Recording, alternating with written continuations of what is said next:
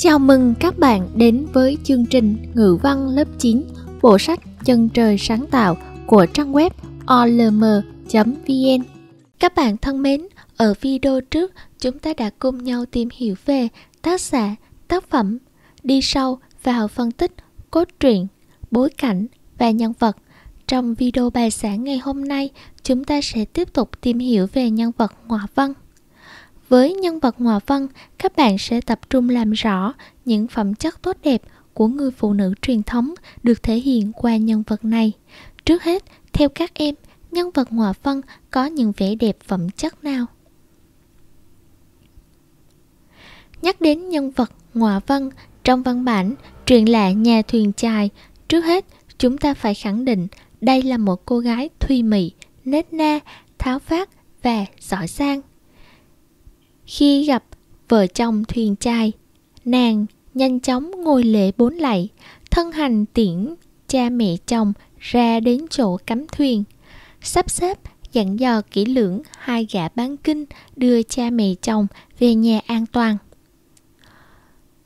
Các bạn có thể chú ý vào lời thoại sau đây. Hôm nay sóng to, không thể dùng chèo bơi thuyền được. Hai anh phải cởi áo, lội xuống nước một người đi sau đẩy thuyền, một người đi trước kéo thuyền mới có thể chóng đến nơi. Bên cạnh đó, nàng còn chu đáo dặn dò cha mẹ chồng chốn này chướng khí trong nước rất độc, vào mắt thì bị mù ngay. Xin thầy mẹ nhắm chặt mắt lại, lấy hai tay che lên, không nên mở ra nhìn.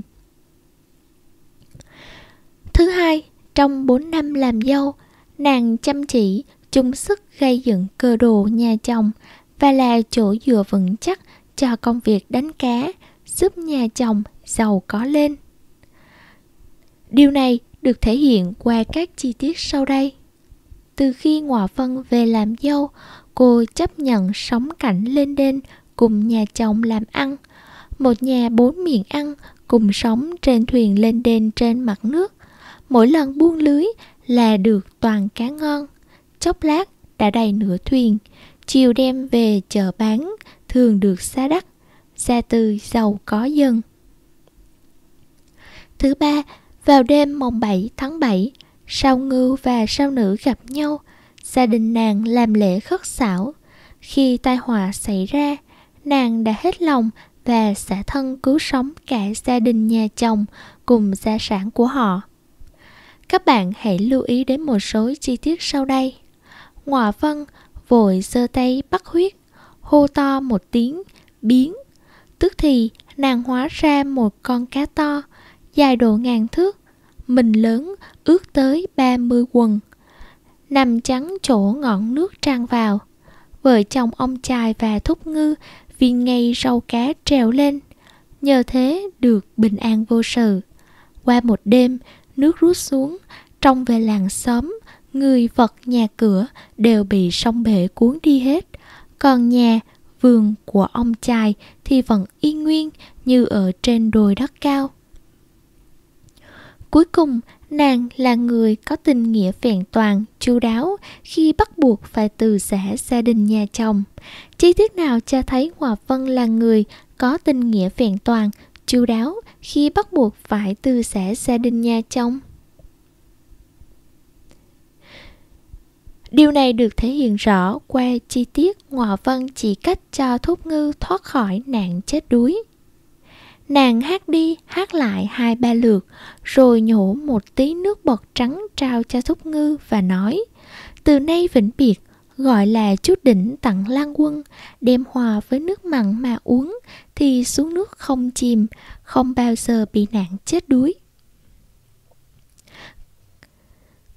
Qua những phân tích trên, chúng ta có thể thấy rằng những chi tiết và những yếu tố chúng ta vừa chỉ ra đã thể hiện phẩm chất tốt đẹp của người phụ nữ Việt Nam truyền thống qua từng lời nói và hành vi ứng xử của nàng Hòa Vân, đúng không nào? Tiếp theo, chúng ta sẽ tìm hiểu về yếu tố kỳ ảo có trong truyện, truyện là nhà thuyền trai Ở phần này, các bạn cần phải nêu được một số chi tiết kỳ ảo và chỉ ra tác dụng của chúng trong việc thể hiện tính cách của nhân vật và chủ đề của văn bản. Bây giờ, chúng ta cùng quan sát vào bảng sau đây. Đầu tiên, nói về nhân vật kỳ ảo. Theo các bạn, đâu là nhân vật kỳ ảo trong truyện? Trong truyện, chúng ta có các nhân vật kỳ ảo đó là Ngọa Vân, cha của Ngọa Vân và gà bán kinh. Bên cạnh đó, chúng ta cũng có thế giới kỳ ảo, cụ thể là cuộc gặp gỡ kỳ lạ ở không gian biển khơi đảo ấp, yếu tố thiên cơ và những luật lệ khác với Trần Sang. Bên cạnh đó, chúng ta cũng có hành động kỳ ảo, cụ thể là việc gà bán kinh đưa cha mẹ thúc ngư về nhà, thuật rẽ nước và phép thuật chống lại sống dữ của Ngọa Vân. Thông qua nhân vật kỳ ảo, thế giới kỳ ảo hay là hành động kỳ ảo, chúng ta có thể thấy được rằng các chi tiết và yếu tố kỳ ảo này đã khắc họa nét đặc biệt của nhân vật kỳ ảo, đồng thời thể hiện tính cách hành động của các nhân vật. Bên cạnh đó, các chi tiết và yếu tố kỳ ảo cũng đã thể hiện chủ đề của tác phẩm, đó là ca ngợi sự hiếu nghĩa của người phụ nữ Việt Nam qua câu chuyện tình kỳ ảo giữa con người và thần linh. Các em cũng có thể liệt kê ra từng chi tiết một, phân tích cụ thể hơn về chi tiết kỳ ảo ấy để thấy rõ tác dụng của nó trong việc khắc họa nhân vật và thể hiện chủ đề. Ví dụ như, chi tiết ngọa phân sử dụng phép thuật chống lại sóng dữ để cứu gia đình, thúc ngư và gia sản của cha mẹ anh. Đây là chi tiết giúp khắc họa nhân vật Ngọa Vân, một người phụ nữ thông minh, sống tình nghĩa, sẵn sàng hy sinh bảo vệ gia đình dù biết trước mình sẽ không còn ở lại trần thế với chồng và cha mẹ chồng. Chi tiết này cũng góp phần thể hiện chủ đề của truyện đó là ca ngợi đức hy sinh của người phụ nữ Việt Nam truyền thống và thể hiện niềm thương cảm với người phụ nữ. Tiếp theo, chúng ta sẽ tìm hiểu về lời người kể chuyện và lời thoại. Ở mục này, các bạn sẽ trả lời câu hỏi thứ năm trong sách giáo khoa. Yêu cầu là các bạn phải xác định và nêu được căn cứ xác định yếu tố từ sự biểu cảm trong phần lời thơ ở đoạn 1 và lời đối thoại, độc thoại, độc thoại nội tâm được thể hiện trong phần lời hát ở đoạn 4. Bên cạnh đó, các bạn cũng cần nêu được tác dụng của việc dùng lời thơ ở đoạn 1 và lời hát ở đoạn 4 trong văn bản. Thứ nhất, về lời thơ ở đầu truyện, chúng ta có thể thấy rằng bốn dòng thơ đầu chủ yếu là từ sự, các dòng cuối kết hợp từ sự với biểu cảm, do bắt đầu bằng cụm từ mang tính bình phẩm, biểu cảm, cũng thật là.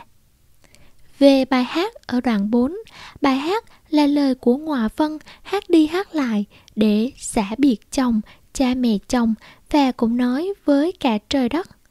Chính là một dạng độc thoại, độc thoại nội tâm. Tiếp theo, chúng ta sẽ nói về tác dụng của việc dùng lời thơ ở đoạn 1 và lời hát ở đoạn 4. Các bạn hãy cùng với cô trả lời câu hỏi tương tác sau đây.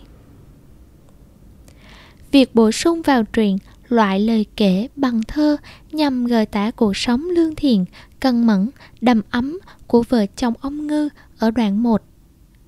Bên cạnh đó, việc bổ sung vào truyện loại lời thoại bằng bài hát đã thể hiện tình cảm buồn thương, tiếc nuối của nhân vật ngoại văn ở cuối tác phẩm. Bên cạnh đó, việc bổ sung các loại lời này cũng đã giúp đa dạng hóa lời văn và tạo sắc thái cổ kính cho tác phẩm. Bạn thân mến, như vậy chúng ta đã cùng nhau tìm hiểu những nội dung khá thú vị trong truyện là nhà thuyền chài đúng không nào? Bây giờ chúng ta sẽ đến với phần tổng kết. Trước hết về mặt nội dung, truyện là nhà thuyền chài kể về cuộc sống của gia đình Thúc Ngư và những sự kiện lạ lùng từ khi nhà có con dâu Ngọa Vân. Qua câu chuyện, tác giả cùng gửi gắm thông điệp về sức mạnh của tình yêu thương, sự hy sinh, hiếu nghĩa của người phụ nữ truyền thống. Cùng với đó, tác giả cũng nhấn mạnh về sự đoàn kết, gắn bó của các thành viên sẽ tạo nên một mái ấm thực sự. Về mặt nghệ thuật, chúng ta có thể lưu ý đến lối kể chuyện có sự kết hợp lời thơ độc đáo. khắc họa tính cách của nhân vật qua hành động, lời thoại, điển hình là lời hát của Hòa Vân góp phần thể hiện phẩm chất của nhân vật này. Bên cạnh đó, chúng ta cũng có thể lưu ý đến yếu tố kỳ ảo, giúp nhân vật hiện lên sinh động, câu chuyện thú vị và góp phần thể hiện chủ đề của tác phẩm. Các bạn thân mến, như vậy trong video ngày hôm nay chúng ta đã cùng nhau tìm hiểu những yếu tố của truyện truyền kỳ được thể hiện trong văn bản truyền lạ nhà thuyền chài. Hy vọng rằng bài học ngày hôm nay đã mang đến cho các bạn những kiến thức bổ ích, những nội dung thú vị và những thông điệp ý nghĩa. Bài học của chúng ta đến đây là hết rồi. Xin chào và hẹn gặp lại tất cả các bạn trong những video bài giảng tiếp theo. Preview. Preview.